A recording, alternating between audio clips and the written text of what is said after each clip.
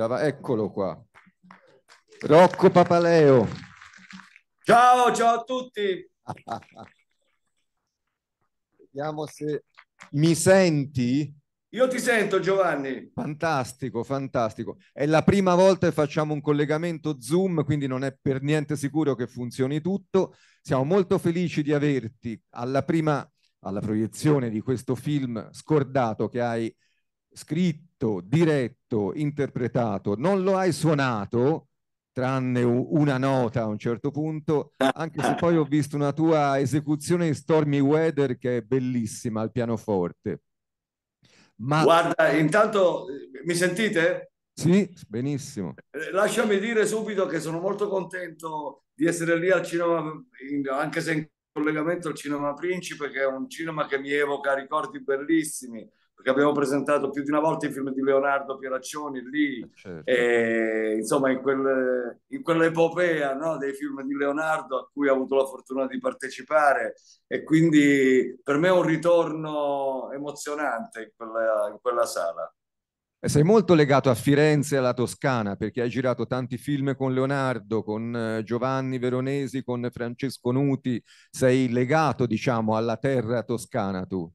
Beh, diciamo che la Toscana è stata la mia terra di adozione cinematografica perché la mia storia è cominciata con i laureati di Leonardo e da lì in poi, poi ho partecipato a, a tanti film toscani o comunque di registi toscani. In primis Leonardo con cui ho fatto sei film, poi con Giovanni Veronesi con cui ne ho fatti altri 4 o 5 e con Paolo Virzì con cui adesso ri, rinnoviamo il sodalizio con eh, questo Ferie d'agosto 30 anni dopo. Insomma, la Toscana è terra di cinema per me, è terra d'adozione cinematografica. Quindi intanto il pubblico si è già emozionato a sentire che sarai nel film di Paolo Virzi. E questo tuo film, tra l'altro, tu avevi esordito nel 2011 con Basilicata Coast to Coast, che era un eh, meraviglioso esordio eh, nel quale scoprivi, diciamo, come attore il talento di un musicista che era Max Gazzè in quel momento. Qui scopri, diciamo, riveli il talento da attrice di Giorgia, che conosci da tanto tempo, tra l'altro. Io la conosco da, una, da, più di 30 anni perché la, la vidi sboccare sui palcoscenici dei club romani nei primi anni 90 e me ne sono subito invaghito artisticamente, l'ho sempre seguita e, e, poi nel corso di questi 30 anni ci siamo incrociati qualche volta e sempre eh, sentivo che c'era un po' un'energia tra di noi e una mm, stima reciproca. Anche lei poi mi ha confessato che in questi 30 anni ha seguito insomma un po' la, la mia storia e così a un certo punto ho preso eh, coraggio e le ho proposto questo questo progetto. Lei aveva già ricevuto delle offerte in passato, ma non l'aveva mai accettato. Stavolta invece ha, ha, ha aperto uno spiraglio e mi ci sono infilato, l'ho fatto leggere la sceneggiatura, le è piaciuta e ci siamo fatti una promessa di provare, di fare un periodo di, di training con la promessa di tirarci indietro se la cosa non funzionava. Potevamo farlo sia io che lei e non l'abbiamo fatto, siamo andati fino in fondo e diciamo ora non spetta a me dirlo, però sono molto soddisfatto. Straordinariamente naturale Giorgia e anche la, la presenza forse più luminosa di tutto il film, quella che che dà sollievo, diciamo, quando, quando la guardi? Beh, perché lei nel film eh, recita proprio il, il ruolo della, della, fata, posso dire, no? di quella che innesca il meccanismo del, della recherche, no? di, di, tornare indietro a, a, cercare di riconnettersi con la propria esistenza, cercando di sciogliere quei nodi esistenziali che avevano reso personaggio che interpreto, diciamo così, scordato. Esatto, hai parlato di Recherche perché è, è, un tuffo nel passato di questo personaggio e quindi un fare i conti con te stesso. Poi il, il film nel suo cuore ha questo, insomma, un personaggio che fa i conti con se stesso. Assolutamente sì, diciamo, è, è un po' un archetipo no? della, della, narrazione, quello di tornare indietro e, e, e, cercare una risoluzione. In fondo è un po' un, un racconto di formazione. Al contrario, nel senso che piuttosto che vedere il, il protagonista della storia che, che cresce, che eh, attraverso la vita si forma, qui è un po' al contrario, torna indietro come a rivivere per cercare di eh, adeguarsi, insomma, di perdonarsi. Io direi che è un film sul perdono, Giovanni, sulla necessità bello, di esercitare il perdono eh, verso gli altri e verso se stesso.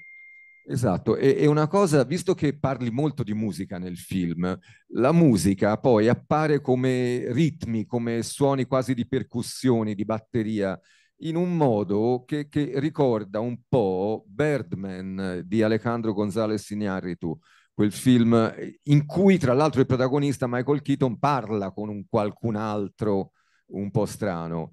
C'era questa vaga idea quando lo hai pensato? Eh, naturale che eh, nelle proprie eh, proposte, nelle proprie creature, nei propri racconti, l'influenza di quello che ci è piaciuto durante eh, la nostra vita di spettatore, no? E, tutti abbiamo incamerato suggestioni e, e, quindi anche se non c'è un riferimento di, diretto, direi che chiaramente quello è uno dei miei film preferiti. È chiaro che quell'idea percussiva un po' è, ispirata anche a quel magnifico film. l'idea eh, di cominciare con la batteria è, è, proprio un po' una mia idea di, eh, per entrare un po' nella, nella, narrazione, perché poi ovviamente si arricchisce di altri strumenti eh, la colonna sonora. Però mi piaceva... poi dovrai entrare... cantare anche in un tuo film. Non ho capito, scusa Giorgio. Prima o poi dovrai anche suonare e cantare in un tuo film. Io ti ho Beh, sentito cantare e suonare più di una volta, ma mai in un film. Beh, diciamo che ci sarà tempo anche per quello. Intanto ho, ho avuto Giorgia e ho preferito far cantare lei. Molto giustamente. Senti, c'è una sorpresa per te. Qui alla mia sinistra, tu parlavi degli attori, di aver scoperto attori, di aver lavorato con bravi attori. E non so se vedi nel quadratino, c'è cioè un signore con gli occhiali e la barba. Lo vedi? No, Beh, no, perché no, il mio collegamento non è perfetto, nel senso che vedo solo il quadratino dove mi vedo io e non è una bella vista, sinceramente.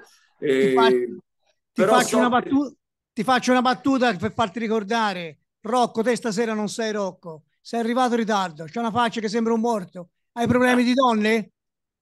Dai Jerry, lo sapevo che eri tu. E, e, ci siamo appena visti, tra l'altro, a Pietrasanta, al mio spettacolo. E sono molto contento di, di averti avuto nel film e, ed è stato anche, se, se, ho un attimo per raccontare, eh, stavo cercando quel personaggio e, e, casualmente tu mi hai mandato un messaggio eh, di saluti e mi sei venuto in mente che eri perfetto per, quella, per quel ruolo e così ti ho, ti ho assunto. E, e sei andato anche oltre le mie aspettative perché è un personaggio che in scrittura era molto più nascosto in sostanza, sai, quei personaggi un po' che servono un po' così da sponda, invece ti sei preso l'attenzione alla ribalta è una delle scene più commoventi del film eh, è tua.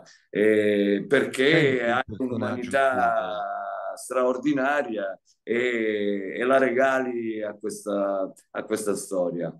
Io ho partecipato con orgoglio, lo sai Rocco, orgoglioso perché io mi peritavo quasi a chiamarti, dico ma che faccio, lo chiamo, non lo chiamo, il numero, ti ho fatto gli auguri per il tuo compleanno e poi ti ho chiesto scusami ma dove posso mandare il mio materiale? Per te mi dicesti sì mandalo a questa email poi ti è scattato qualcosa in testa mi ha chiamato dopo un quarto d'ora e mi ha detto no mandalo a me perché anzi prima ha chiesto quanto sei alto? E io ti ho detto sono piccolino 1,62 63 dice allora mandalo a me perché cerchiamo un personaggio che assomiglia a te Lucano anche se poi dall'accento non si direbbe però voglio io sono paesano tuo come se tu paesano mio che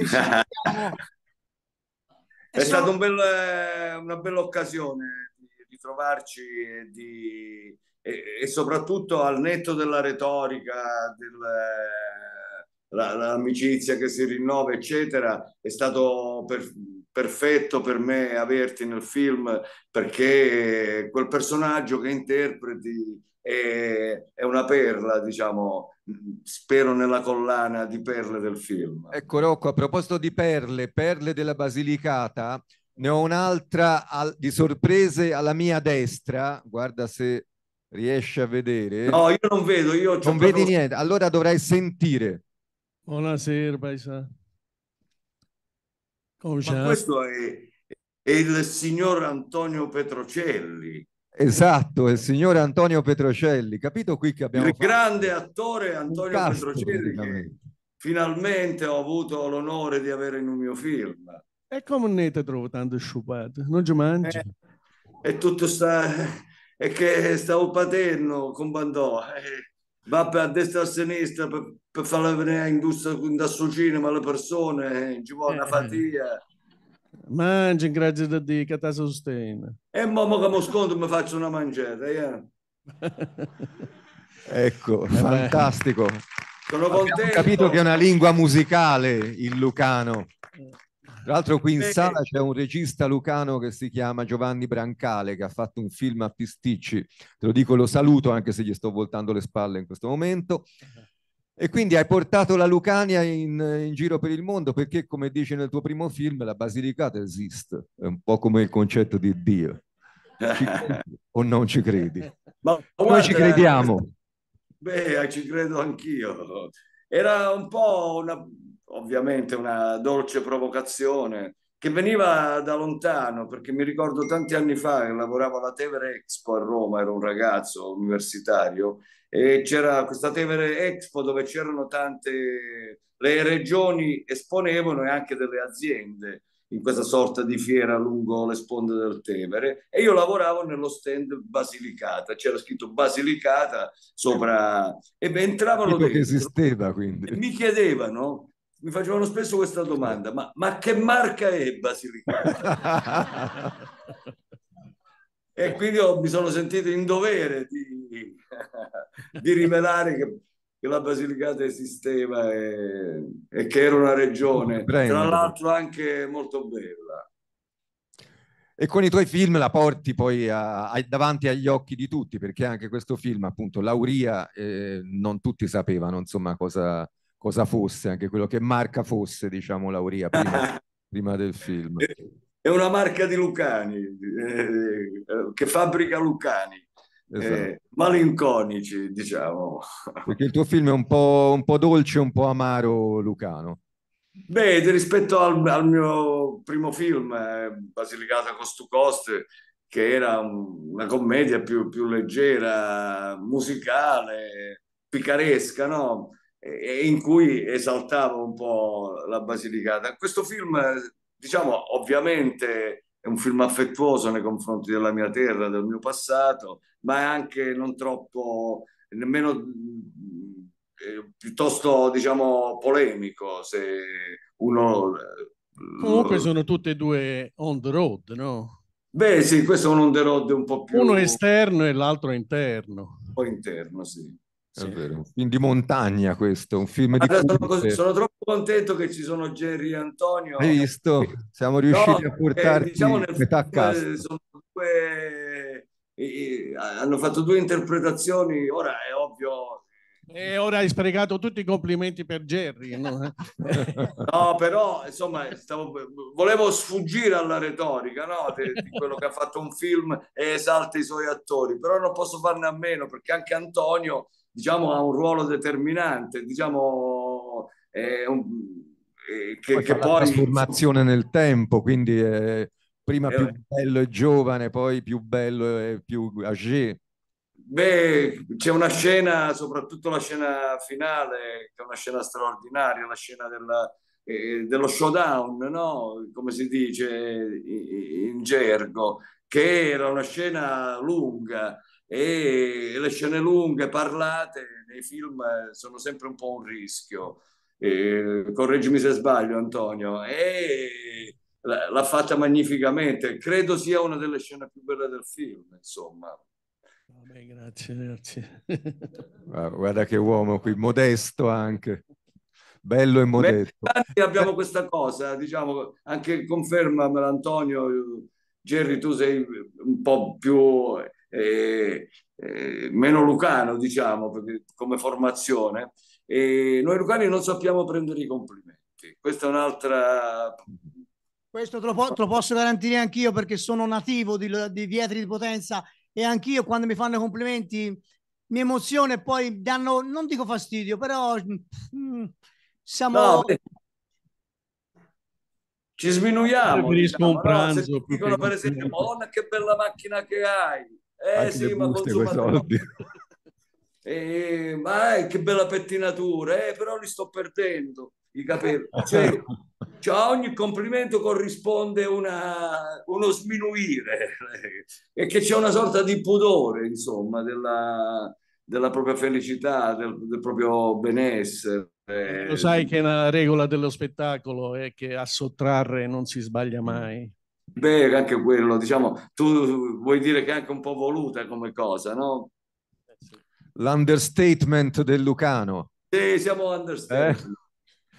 Bene, allora senti, Rocco, ci hai fatto un grandissimo regalo apparendo, diciamo, anche sullo schermo con il primo collegamento Zoom di tutta la storia del cinema principe, quindi ti facciamo un applauso anche perché ha funzionato. Beh, sono molto contento e spero sia anche un buon auspicio, avendo presentato lì tanti film di, di successo, che anche il nostro film, il nostro piccolo film possa, diciamo, incontrare continuare ad incontrare come sta facendo il pubblico e, e, e, i consensi. Sono molto contento e soddisfatto per eh, l'esito che sta avendo, anche un po' su- superiore alle aspettative. E noi ti ringraziamo moltissimo per averci dato questo film e per averci dato anche questo tuo tempo. Sei in giro con spettacoli teatrali, quindi hai trovato il momento per eh, parlare con noi e con il pubblico. Te lo farei vedere, ma dici che non vedi. Comunque, no, dopo... ecco, che facciamo sentire fare. il pubblico con un applauso. Grazie. Ecco. Grazie mille. Ora le hai viste anche? No, non riesco a vedere. Era gli occhiali il problema. Sì, mi sono messo gli occhiali per eh, vedere di Ma cosa niente, non... pigiare per vedere lì. Per peggiorare la situazione. È meglio che non tocco niente, se no scompaio. Va bene. Nuovo. Restiamo Comunque, così. Braille. Li sento, dai. Perfetto. Va grazie. bene, grazie moltissimo. Ciao, allora ti aspettiamo in carne e ossa la prossima volta. Buona visione. Grazie.